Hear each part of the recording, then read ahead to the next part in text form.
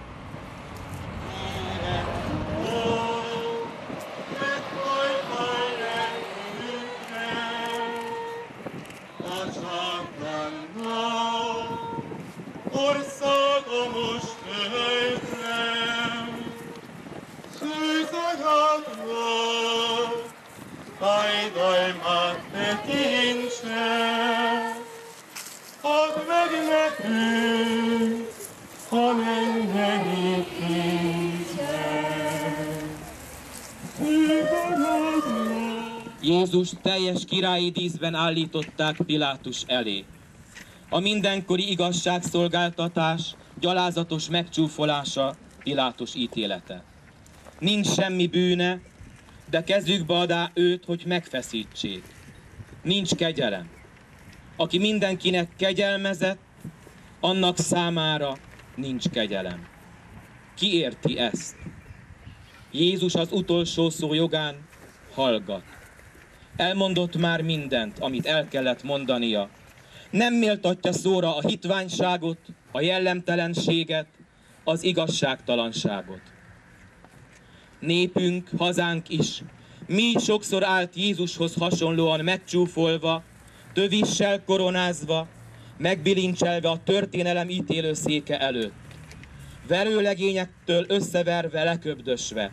Bűnös nemzetnek kiáltanak ki bennünket, mert mint a kis népeket belehajszolták a biztos pusztulásba, háborúkba, donkanyarba, ahol tízezrével haltak meg véreink.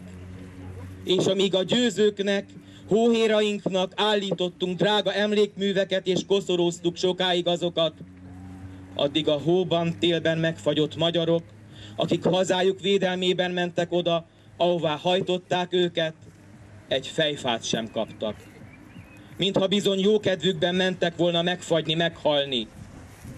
Jézus keresztjénél sem a szegetverő legények voltak a legbűnösebbek, hanem azok, akik kezükbe adták a kalapácsot és a vasszeget. A mi magyarjainknak is idegen hatalmak adták a fegyvert a kezükbe. Trianonban meg sem hallgatták a magyar küldötteket. Fejünk felett nélkülünk ítélkeztek. Amint Jézus perében is előre elhatározták, hogy meg kell halnia, úgy határozták el a mi országunk szétszakítását is. De még nincs vége a történelemnek. Egyszer majd Jézus és Pilátus helyet fognak cserélni, és kiderül, hogy ki volt méltó a halálra. Jézus-e vagy Pilátus? Magyar népünk-e, vagy igazságtalan bíráink? Sokszor halára ítéltek bennünket a történelem folyamán, és sokszor megácsolták a magyarság és a kereszténység akasztófáját. Vádolják és gyalázzák határainkon kívüli magyar testvéreinket még most is. De ott állnak mellettünk védőszentjeink, égi édesanyánk Mária, szenté avatott és még szenté nem avatott magyarok, férfiak és nők, világiak és a szerzetesek. A koncepciós perekben halára ítélt, ki nem végzett, és kivégzett magyar véreink, akik a 301-es parcellában nyugosznak, most már virágos sírok alatt, de sokáig csak névtelen sírokban. Egyszer majd ők is elmondják védőbeszédüket az utolsó szó jogán. Szánd meg Isten a magyart, kit vészek hányának, nyújts feléje védőkart, tengerén kínjának. Könyörülj rajtunk, Urunk! Könyörülj rajtunk, és a tisztító tűzben szenvedő lelkeken is. Szent István a hagyomány szerint kettős keresztet kapott a pápától. Ez azt jelenti, hogy apostoli királynak tekintették, aki népét bekapcsolja majd a nyugati keresztény közösségbe. A kettős kereszt azt is jelentheti, hogy két keresztet kell hordanunk, a magyarság és a kereszténység keresztjét is. Történelmünk során sokszor nehéz volt magyarnak és kereszténynek lenni. A török hódoltság idején nádasban kellett bújdosni annak, aki magyar és keresztény akart maradni. Bűn és kereszt volt 1848-ban magyarul beszélni és érezni. Vitófa várt legjobbjainkra, akik szabadon akartak élni, halni. Bűn volt 1945 után kereszténynek egyáltalán vallásosnak lenni. Az ateizmus, az egyházüldözés, az egyház híveinek lelki megnyomorítása volt a keresztünk, amelyet fel kellett vállalnunk. Júdások lettek magyarságunk, kereszténységünk üldözői, megrontói. Világiaknak és papoknak vállalni kellett az egyház üldözés legnehezebb és legmegalázóbb keresztjét is. Ateisták és lelki nyomorultak ütötték, verték, rugdosták főpapjainkat, papjainkat, és legjobb, legbátrabb híveinket. 1956-ban bűnös volt szabadságharcunk, és leverve azt ezrek kerültek bitófára fegyverek felé. Nehéz keresztek hordozásának nehéz idői voltak azok, de vállaltuk és vittük. Nem lett mindenki áruló, és nem bújt el mindenki ezelő. Elmúltak ezek az idők is. Jöttek, és vannak újabb kereszteink. A szegénység, a munkanélküliség, a létért való küzdelem. Saját honfitársaink rakják vállunkra ma az idők keresztjeit. Amíg néhány ezren az aranyborjú körül táncolnak, addig sok ezer és százezer magyar kénytelen szegényen élni. Bánkbán Tiborcával panaszkodhatunk. Ki írja fel keserves könnyeinket?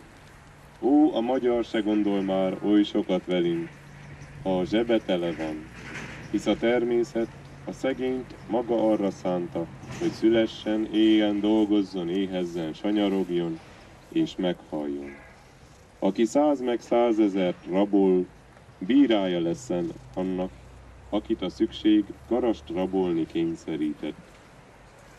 Jézus vállára veszi keresztjét, és mi is, abban a reményben, hogy az ő szeretetével és segítségével bírjuk azt hordani.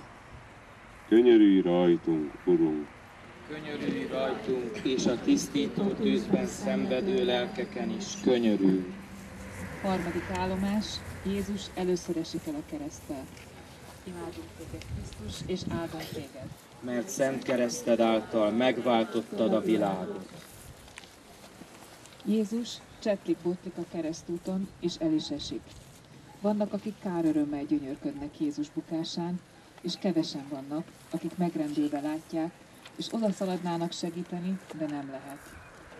Jézus felbukik, mert mi egyéni életünkben is, de nemzeti életünkben is bukdácsolunk. Nehéz a kereszt, mert az emberiség bűneinek súlya terheli meg. Mi, magyarok is, bőven raktunk és rakunk terhet Jézus vállára. Ott van a durva, trágár, káromkodó beszéd, amelyből nem hiányzik Isten szent nevesen. Benne van a felfeszített Krisztus is, bemocskoljuk a szánkat az oltári szentség gyalázásával is. A földi édesanya, de a szűzanya szent nevei sem maradnak ki belőle. Folyik a durva beszéd a szánkból, mint azoknak a hóhíroknak, akik Jézust hajtják, szidják és verik a keresztúton. Mennyi bűn, amit Jézus keresztjére raktunk, és rakunk most is. Hát valóban ezt érdemelte Jézus. Ez jár neki azért, mert szeretett bennünket. Elhozta közénk a szeretetet, a békét, élete szép tanítását és példáját. Ezt érdemelte azért, mert életét áldozta értünk, és mert oly sok viszály közt védte, szerette nemzetünket.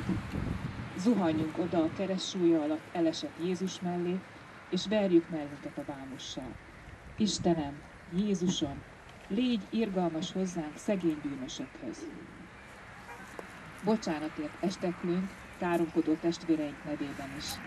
Ígérjük, hogy nem bocskoljuk be többé szántat káromkodással, és nem hangzik többé káromkodás az ég felé a magyar földről. Vezekelni akarunk. Édesapák, vigyázzatok! Ne roncsátok meg gyermekeiteket! Ne felejtsétek Jézus szavait, jaj annak, aki egyet is megbotránkoztat a kicsinyek közül.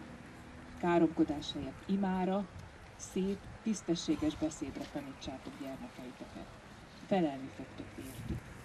Könyörülj rajtunk, Urunk! Könyörülj rajtunk, és a tisztító tűzben szenvedő lelkeken is könyörülj.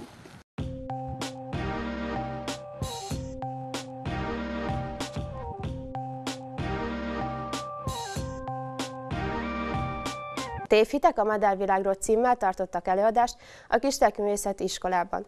Az előadóval készült interjút, valamint az előadás részleteit tekintetik meg a következőkben.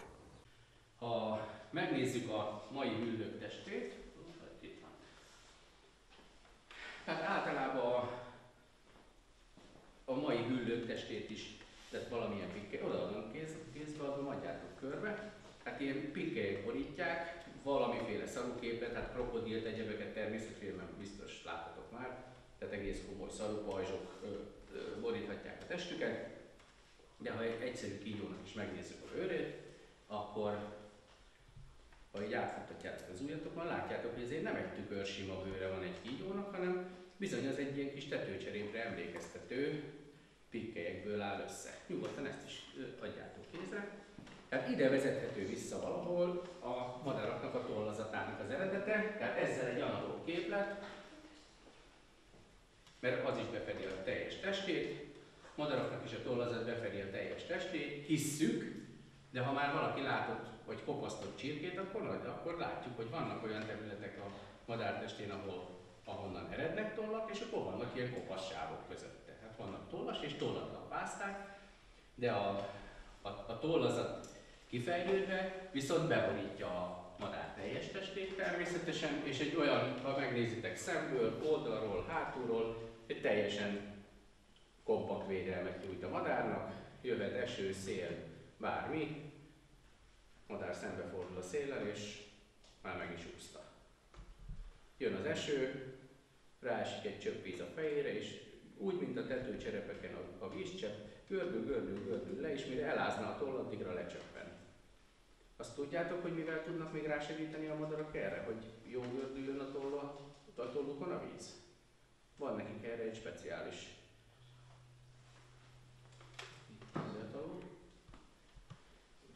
Vaxos kabát mond valakinek valamit?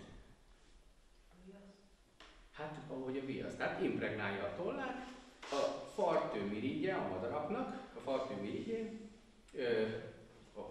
van, van kettő zsírmirigye, ennek egy kis kivezetőcsöve, a madár ezt szépen a csőrével megnyomkodja ezt a mirigyet, kibújja belőle ez a kis olajszerű folyadék, és tollászkodás közben szépen a, a tollait impregnálja tulajdonképpen bekeri ezzel a szekrétummal, amit ezek a mirigyek termelnek. Hoztam egy ilyen kis madárcsontváros, ezt volt a legkönnyebb elhozni, azért hoztam ezt. Ha megnézzük a, a madarakat, tehát ha egy megnyújtott madártestet megnézzük, akkor ez egy kompakt egység. Madár ez nem tud így derékból így tekeregni, meg forgolódni, mert viszonylag a, a háti és ágyék, ágyéki legdifferenciáltabb mozgást a madarak a nyakukkal tudják végezni, mert az maradt meg egyedül ez a klasszikus csigolyákból álló gerincnek. Ha valaki ügyes közületek, számolja meg, hogy hány csigolyája van. Jó? Ezt is kézre adom.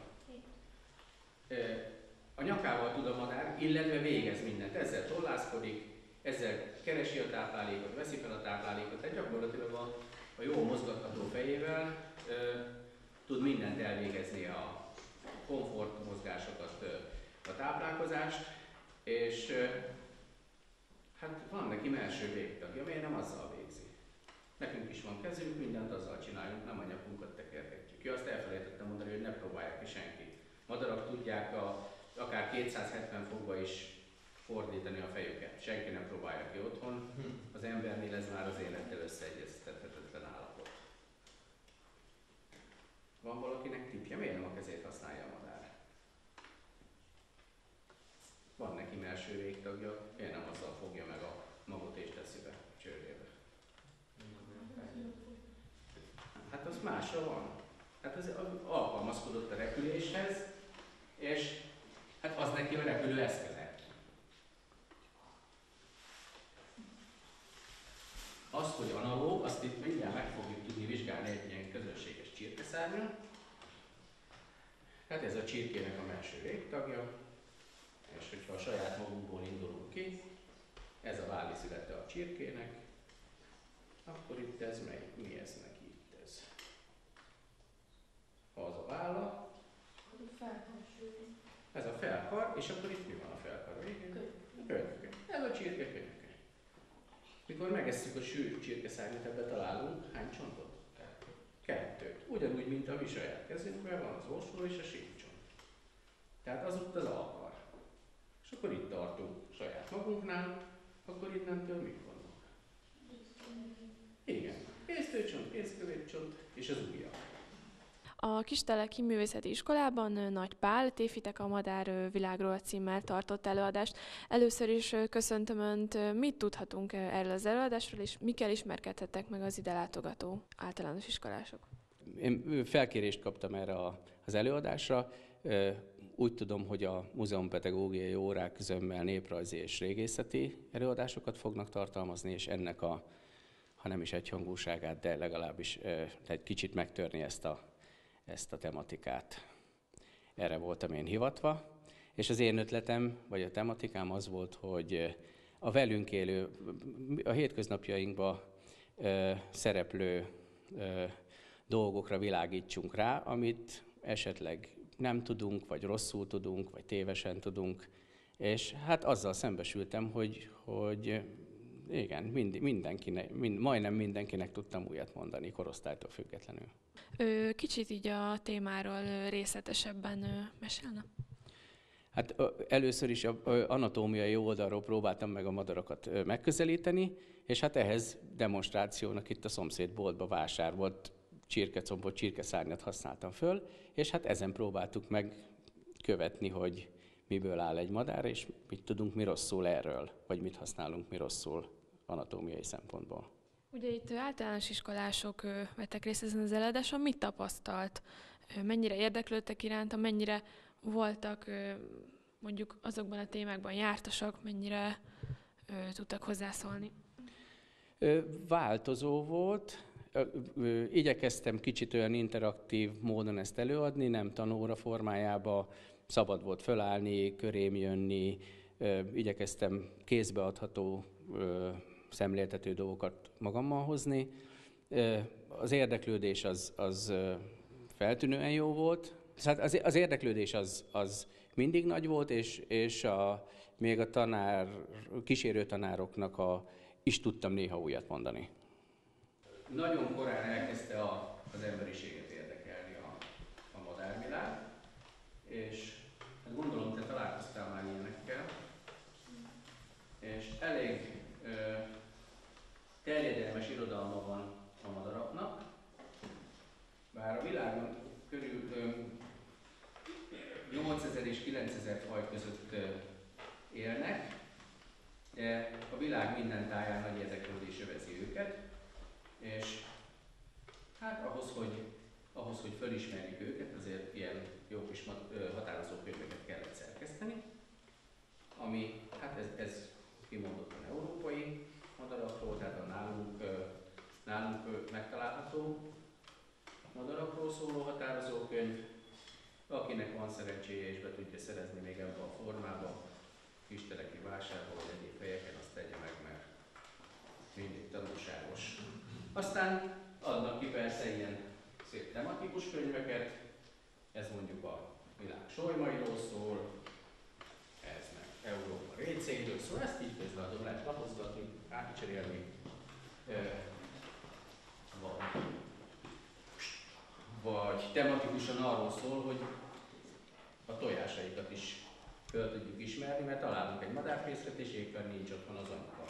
Hát akkor is azért jöjjük rá, hogy kinek a fészkére találtunk, akkor a tojásoknak gyakorlatilag ahány madár, annyiféle tojás, illetve a, a kis csivét találunk, akkor azt is meg tudjuk határozni, ha éppen nincs vele a szülőmadár. Arról mit gondoltok, hogy kinek, tehát ha itt megnézitek az apró madarak tojásait, ezek zömmel, mintásak, pöttyösek, minden. Vannak a földön fészkelő madarak tojásai, azok általában ilyen földbarna, olajzöld, pöttyös, rejtőszínűek. Aztán vannak olyan madarak, akiknek fehér tojásuk van. Kinek praktikus ez a fehér tojás vajon?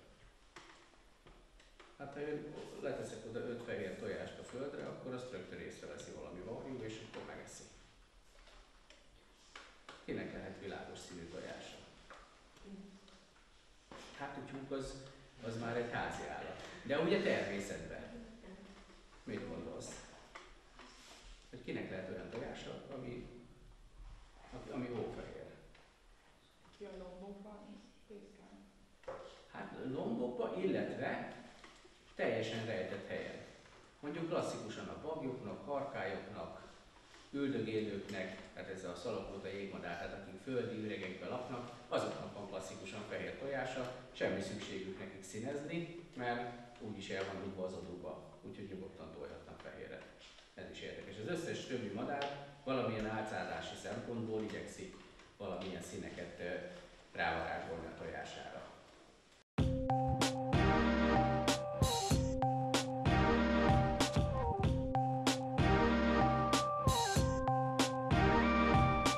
Április 1-én kiállítás nyílt a Kistelki Művészeti Iskolában. A Szentegyházai Alkotókör tagjai is egyben a kiállítókat kérdeztük munkáikról, valamint Szombathelyi Árpád mesélt nekünk az alkotókörrel való kapcsolatáról. A Kisteleki Művészeti Iskolában ő kiállítás nyílt a Szentegyházi Alkotókör tagjainak munkáiból. Az egyik alkotót és egyben résztvevőt kérdezem először is, köszöntöm Önt. Erdélyből ide érkezni hozzánk Kistelekre. Milyen érzés volt és miket tapasztalt? Nagyon jó érzés viszont látni a régi barátainkat, úgymond. Igazából ugye tudnélik, a kisteleki művészek, ők nagyon sokat járnak oda a Szentegyházára, és ezért egy kicsit haza is jöttünk egybe. Úgyhogy, és azt a szeretetet, amivel fogadtak, azt nem, le, nem lehet leírni most egy-két szóba. Kicsit részletesebben az alkotásokról kérdezhetném? Hát tudnélik az alkotásokról, mindenki a sajátjáról tudna beszélni igazából. Én az eimről azt tudom, hogy én ugye autodidakta módon csinálom a festészetet, és hát nem tudom beazonosítani még mai napig sem magamot semmilyen stílusba, úgyhogy többé-kevésbé tájképet szeretek festeni, persze próbálkoztam én más irányba is elmozdulni, de, de ez sikerült még eddig el, ez jött ki belőlem. Egy kicsit a hegyvidék. Ugye kistelekre érkezve Erdélyből, ön mit tapasztalt, ő, hogyan tetszik ez a környék? Egészen másabb, másabb, mint az otthoni, ugye ott van a hegyek, fenyvesek, itt, itt pedig ez a, az a puszta, de meg, megfogott, megfogott ez is ezekkel a tanyákkal. Nagyon szép helyt jártunk. Mely környékeken jártak itt? Voltunk uh, Pusztaszeren, akkor uh, Péter Monostoron voltunk, Kiskunfél egyházon. Hát itt a környéket így, így bejártuk. Ön a saját képeiről mit, mit mondaná el, mi alapján ő készíti el őket? Mindig csak tájképet festek, és szeretném bemutatni azt a gyönyörű tájat, az erdélyi tájat, a hegyeket, a, a fákat, minden, hogy mert úgy sokszor elmennek, elmegyünk mellettük a szép tájak mellett, csak ezt próbálom megörökíteni, és a képeim mind a helyszínen készülnek. Tehát még a fűcsomót is meg tudom mutatni, hogy ahol festettem. Hát először, először a természet megismerése, a szeretete, és utána aztán úgy, úgy hozza magával azt, hogy ezt meg kell örökíteni. Hol fényképezőgéppel, vagy ecsettel, vagy ilyen pasztel, például én pasztelkrétával dolgozok többet. Van olajképeim is, de inkább a pasztellel dolgozok, mert az, az könnyebb ott a helyszínen, ahol nem kell elcsetet elmosni, meg letörülni palettákat így. Mondta, hogy minden kis részletet megörökít egy egyes képnél. Hogyan jött ez, hogy, hogy ennyire részletesen kidolgozza? Inkább próbálom visszaadni azokat a színeket, meg a fának az algait, leveleit, mint hogy így ilyen kicsit modern fele menjek, inkább, inkább a hagyományos, mondjam úgy. Az első kérdésem az lenne, hogy Erdély után itt kis teleken milyen tapasztalatok érték, mennyire tetszik a környék? Hát egy kicsit szokott a hegyvidék után. Mi 800 méter fölött lakunk a tengerszint fölött, fenyvesekkel körülvéve, és ezért ez a pusztai táj egy kicsit szokatlan volt, de megvan ennek is a szépsége, és biztos, hogy itt is el tudnám képzelni, hogy lakjak, tehát annyira jól fogadtak az emberek, tehát nem mindegy nagyvárosban, mindegy kisvárosban annyira barátságosak, közvetlenek, meg a festőkörrel való, tehát a Szombathely Árpád művész úrnak a festő körével most már néhány éve, hogy tartsuk a kapcsolatot, úgyhogy úgy fogadtak, mintha hazajöttünk volna tényleg. Kicsit így a képeiről szeretnék kérdezni. Mi alapján, milyen iklet alapján készíti el a képeit, és mit tudhatunk így a részleteiről? Hú, hát ez nehéz kérdés. Vannak képek, amelyekre előre már megvan az elképzelésem, de van úgy, hogy mint hogy evés közben jön meg az étvágy, utólag találom meg azt a mondani valót, vagy azt a valamit, ami emészthetővé teszi ezt a képeket. Erdély után, ugye Erdély után milyen itt kis teleken, ezen a környéken lenni, és mit tapasztalt? Hát csendet tudok válaszolni, mert uh, nagyon tetszett ez, ez az egész környék. Igazából nem volt lehetőségünk nekünk, bár sok éves bíztatás ellenére, hogy nem sikerült eljönni hamarabb, gyönyörű gyönyörűek a kunhalmok, egy kicsit van egy kicsi azonosság a mi hegyeinkkel, mert mikor felmegyünk a kunhalom tetejére, akkor az az érzésünk támad, hogy meglebben a szél, hogy valahogy ott vagyunk egy kicsit otthon is. Ez az egész Kárpát-medence egyébként egy gyönyörűség, tehát azt akarom kiemelni, hogy ez az egész tálat, ez az egész kiállítás tulajdonképpen a, a telekieknek köszönhető. Tehát tőlük raboltuk el az ötletet, hogy hogy lehet közösen valamit megmutatni. Tehát tulajdonképpen a miénk az alkotókörnek az ötlete is tőlük származik, tőlük vettük át ezt, hogy érdemes együtt csoportban dolgozni. Kicsit így a képekről szeretnék kérdezni, hogy mi alapján készülnek ezek a képek, mert nagyon gyönyörűek, és hogy milyen, milyen technika ez, és hogy készíted el? Hát Próbálok természetes anyagokból térszerű képeket alkotni. Az anyaga az teljes mértékben a természetből saját kezüleg van begyűjtve, festékföldek, egy, egy kicsit próbálom megmutatni másképp ezt a, a minket, a, a vidéket, tehát a mi hegyeink, a mi szikláink, azok, azoknak a hangulata tulajdonképpen remélem, hogy visszatükröződik ebben, de itt megmutatnék valamit, hogy a kőben ezer egy lehetőség van. Hát szeretnénk részvétünket kifejezni a, az egyik kisteleki alkotónak, Majorus Laci bácsinak, aki sajnos most már nincs köztünk, de próbáltam jelen időben megfogalmazni az üzenetet, hogy tulajdonképpen ő is itt van közöttünk, úgyhogy köszönjük. Az első kérdésem az az lenne, hogy itt Kisteleken milyen, úgy Erdély után, milyen a fogadtatás, mit tapasztaltak?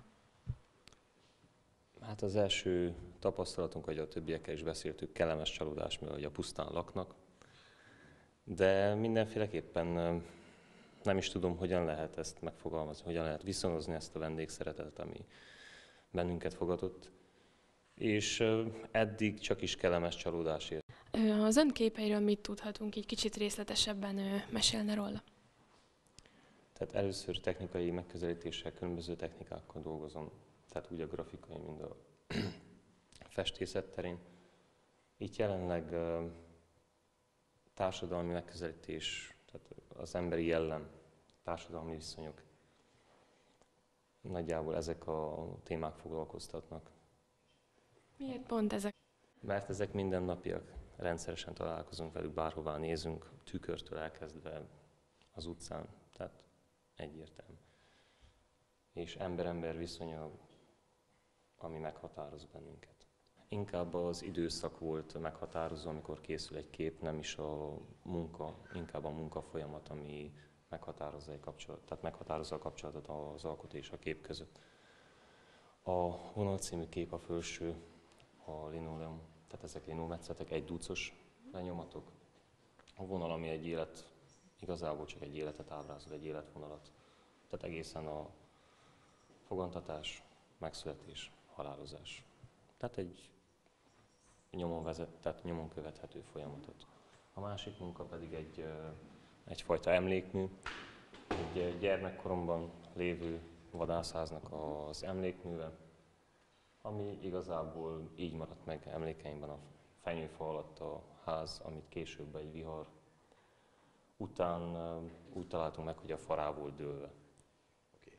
Szóval a barátságra térünk ki, és az igazából nem illeszkedik szorosan a kiállítás tematikájához, de ez nem igaz, mert a Firnis alatt a képek a barátságról szólnak, és a mi barátságunk már jó néhány évtizede működik a Szentegyházai festőkkel. Például a balomon álló Mihály Pistát az első évben, vagy esetleg mondjuk a második évben ismertem meg, és azóta úgy össze keveredett a mi erdélyi jelenlétünk az ő erdélyiségével, hogy ilyen önkéntes vállalással ő az ottani mi idegenvezetőnk is. Nem hangzott el igazából, de el kell azt is mondani, hogy ami egyébként nagyon pozitív ötletelésünk kapcsán, amit szinte minden évben megtettünk, mikor szaporodott a Szentegyházai ismerettség, egyre inkább támad bennük az igény, hogy a festők, szobrászok, grafikusok egy hasonló kört hozzanak létre. Hát ez azt mondhatnám, hogy baráti társasággá nőtte ki magát. El se jöttek volna hozzánk, hogyha negatív érzéseket táplálnának irányunkba. Én meg el se hívtam volna őket, hogyha bárkivel is ilyen előfordult volna. Mondhatok neveket is, tehát a Mihály Pista, Sie Bandi, Bálint Nándi, Szőcs Levente, kit hagytam ki? Ja igen, a Lőrinc Imi. Hát olyan ö, emberek, akiket mondjuk a, az utóbbi öt évben már ismertem, és tavalyra, tavaly előtre viszont kifejlődött az együtt dolgozás képessége is mi jól tudjuk festeni az erdélyi tájat, ők meg kiváló tanácsokat adnak ahhoz, hogy egyre jobban menjen ez a munka. Én viszont itt bemutattam nekik úgy az Alföldet, hogy remélem jövő év során már alföldi tájakat is festenek. Nem mindenki tájképfestő, de most tájról beszéltünk leginkább. Régebben mondogattam Pistának, hogy eltolom a Hargitát Kistelek környékére, hadd legyen itt is egy nagy hegy. Aztán, amikor jövök haza, akkor rájövök, hogy nem kell eltolni a hargitát, bennem marad, itt nekem az alföld nyújtja ugyanazt, mint nekik a hegyvidék.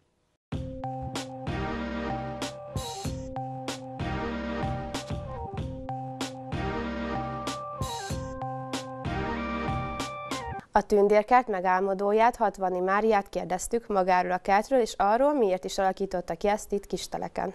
Kistelek szélén van egy kis oázis ezen a településen, a tündérkert. A tündérkertet vezeti egy pici tündérke, 60 Marika. Köszöntelek, téged kérdeznélek arról, hogy vissza tudsz-e arra emlékezni, hogy hogy kezdődött ez a tündérkert, amikor még csak a gondolataidban volt. Hogy nézett ez akkor ki? Hát 2009-ben visszakerültem szülővárosomba, és a, e, volt egy, egy egyéves ápolási folyamat, ami alatt volt időm gondolkozni, hogy szeretném-e folytatni az addig életemet, és ez időközben álmodtam meg a kertemet, és, és a bubos kemencémet, ami régi vágyam volt, hogy, hogy legyen a kertemben egy bubos kemence, és tulajdonképpen az ötlet, a tündérkert az majd később született. Az, hát igaz, az klasszikus kolbász, ilyen enyhén csípős. Végül is a tündérkert az úgy alakult ki, hogy egyre többen mondták, hogy szívesen megnéznék a kertemet, és ebből, a, ebből az ötletből adódóan először egy kis magánpiacot nyitottam, mert szerettem volna, hogyha a termelő közvetlenül találkozik a vevővel, és itt egész rövid távolságon belül kell el a portéka, és tudnak egymással beszélgetni az emberek, hiszen nagyon nagy szükség van erre mostanság. És az első időszakban egy kis termelői piacot nyitottam, majd utána váltottam át a kemencézésre. Ha már kemence, a kemence ötlet honnan jött? Honnan jött a búbos kemence ötlet?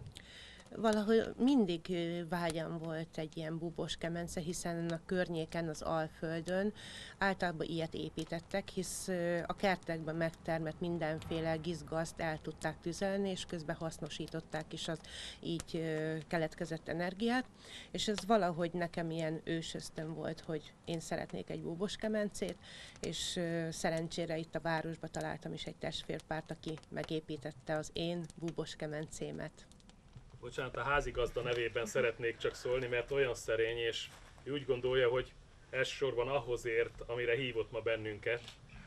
Úgyhogy mégse helyetted, hanem inkább a város nevében szeretném megköszönni azt, hogy évről évre azt a hagyományt, ami augusztus 20-án szokása lett a magyaroknak, az új kenyér ünnepének valóban megadod azt a fajta tisztességet, ami egy picit a múltat megtartja nekünk.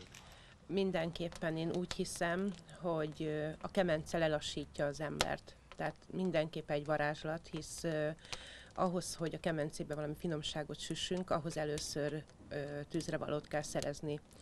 És ez is már egy kutató munka, de, de ezt is ugyanúgy szeretem, mint tulajdonképpen a kemencébe való sütést, és én úgy hiszem, hogy a kemence hozzáadja maga ö, csodálatos ö, voltát, hisz ö, agyaggal, vízzel készült, az agyagot a, a, földből vesszük ki vízzel, és utána pedig a tűz által pedig sütünk finomságokat, és ez maga egy csoda. Ha tanácsot kellene adnod, hogy hogy süssünk kemencébe, mit mondanál erre? Mindenképp javasolnám, aki teheti, a kertjébe építsen egy kemencét, mert maga ez a teremtés is egy csoda, és egyre többen vállalkoznak már férfiak, akik megépítik a kis kemencéjüket, az én barátaim között is van olyan ember, és utána pedig jön fölkutatni a nagymamáink receptjét, elkészíteni együtt a család minden tagjával, ami azt jelenti, ami régen is valóságban volt, hogy a legapróbb kis gyerek is ott volt a nagymama körül, és szívta magába tulajdonképpen ezeket a varázslatos dolgokat. Bonyolult feladat a kemencének a beüzemelése. Honnan tudod azt, hogy mikor áll készen arra, hogy most már sütni lehessen benne? Ö, hát igen, ö, tulajdonképpen az az érdekes, hogy a családban nem is volt kemence már, működő kemence, amikor, amikor én ezt megvalósítottam, ezt az álmomat, és mégis az első perctől kezdve nagyon jól működünk együtt. Talán azt tudnám hozzáfűzni, hogy az utam során, ahol jártam, mindenhol megkérdeztem, ahol kemencét láttam, hogy hogyan és miként működik és igen, hosszadalmas folyamat, de mivel én elég gyakran begyújtok a kemencébe, elég gyorsan föl is melegszik, hisz a kemence emlékszik az előző melegre.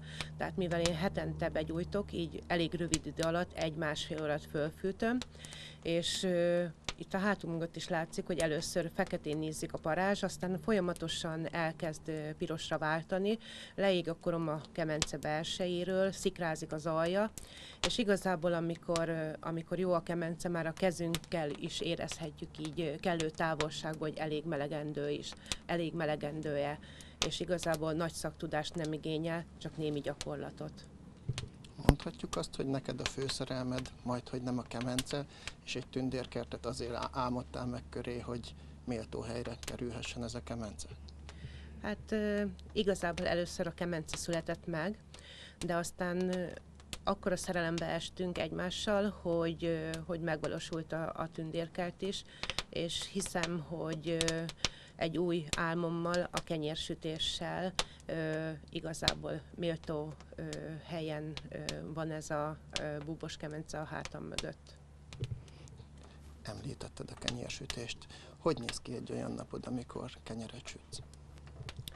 Ö, hát igen. Nem is azon a napon kezdődik ez a történet, hanem előző nap, amikor elkészítjük a kovászt, hisz ö, ö, kovásszal készítették nagyanyáink is a kenyeret, és előző nap legalább 8-10 órával hamarabb elkészítették. Ők azzal a technikával csinálták, hogy kivettek egy darabkát az előzőleg sütött tésztából. Én ö, másképpen készítem, de a végeredmény tulajdonképpen ugyanaz. Másnap reggel pedig ö, a teknőben megszitált lisztbe beleöntöm a kovászt, vízzel összekeverem, és tulajdonképpen magukra hagyom egy, egy másfél rosszáig, hogy a víz és a liszt és a kovász ismerkedjenek egymással. És ez a folyamat alatt tulajdonképpen a liszt kellő mennyiségű vizet szív magába, kisimulnak a szálak, és ezáltal nekem lényegesen könnyebb már a dagasztás. És hát igazából ez a nap nem mondható nehéz napnak, mert bár van fizikai része a kemence fölfűtése, és közben a, a kenyér elkészítése, de ez olyan csoda, amit hétről hétre megélek, hogy kenyér születik, hogy igazából elmondani nem is tudom, inkább átélni kell ezt a folyamatot.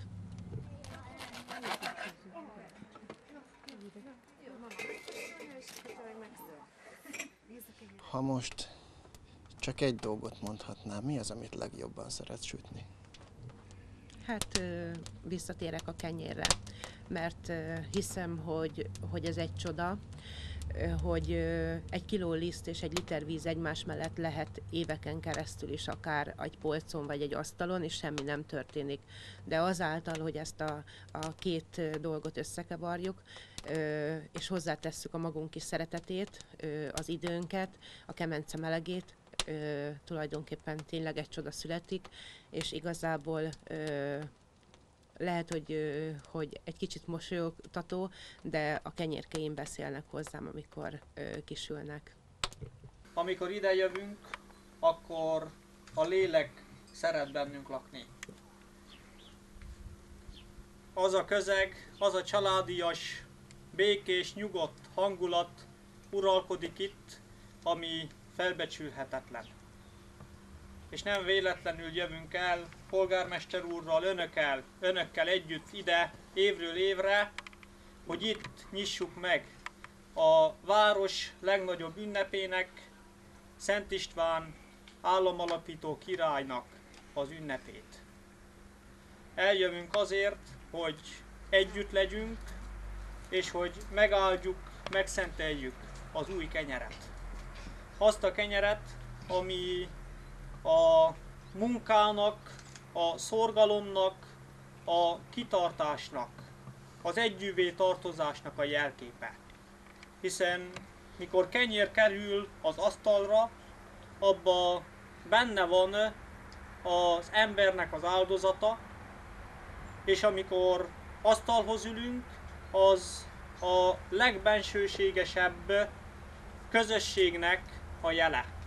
hiszen általában azokkal szoktunk asztal közösséget vállalni, akik közel állnak hozzánk, akik fontosak számunkra. Ha erre téved egy vándor és éhes, hogy tud hogy tudja megkóstolni ezeket a általad sütött kenyereket, illetve ha épp arra lenne kíváncsi, hogy hogy tudna ő otthon ilyen kenyeret sütni, elmondanád neki a tudományod? Igen, nagyon szívesen, nagyon szívesen továbbadom, mert ugye az a, az a láncszem már kimaradt, hogy a gyerekek a nagymamától megtanulják a kenyérsütést, de azért egyre többen vannak, akik szívesen továbbadják tulajdonképpen ezt a szenvedélyt, ezt a kenyérsütés folyamatát, és én is közéjük tartozom. Tehát aki, aki szívesen megtanulna hagyományos kovásszal kenyeret sütni, azt nagyon szívesen várom itt a tündérkertbe, illetve lehetőség van arra szombatonként nyílt nap keretében, hogy a kenyeremet akár üresen, vagy akár egy kis házi zsírral, egy kis lila hagymával megkóstolhassák.